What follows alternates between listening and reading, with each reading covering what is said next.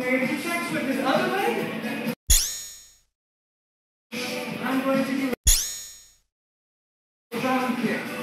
So combo, round kick, move out, your partner will check you, you're going to flop, either shuffle or rock. Any questions?